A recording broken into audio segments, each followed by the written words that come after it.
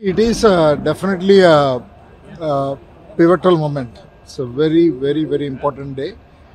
Uh, semiconductor is fundamentally required for anything digital. So, for all the reasons that I spoke in my speech, it is very important for India to become a semiconductor nation. I'm very glad the Tata Group has been able to establish the first semiconductor fab, also the first indigenous assembly unit in Assam.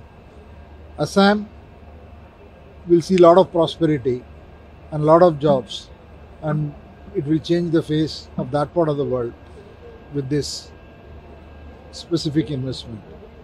With regard to the capability, it is going to be a fab which has capability to produce multiple nodes starting from 28 nanometer to 110 nanometer.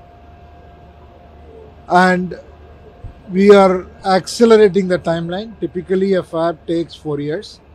Our goal is to produce the chip in calendar year 26 hopefully in the later later part of the year but it will be in the calendar year 26 so we have got a very aggressive timeline we got a partner who is very willing and uh, we have assembled a team.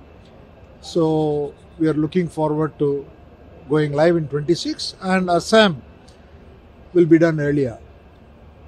We may go a commercial production in assam even in late 25 or early 26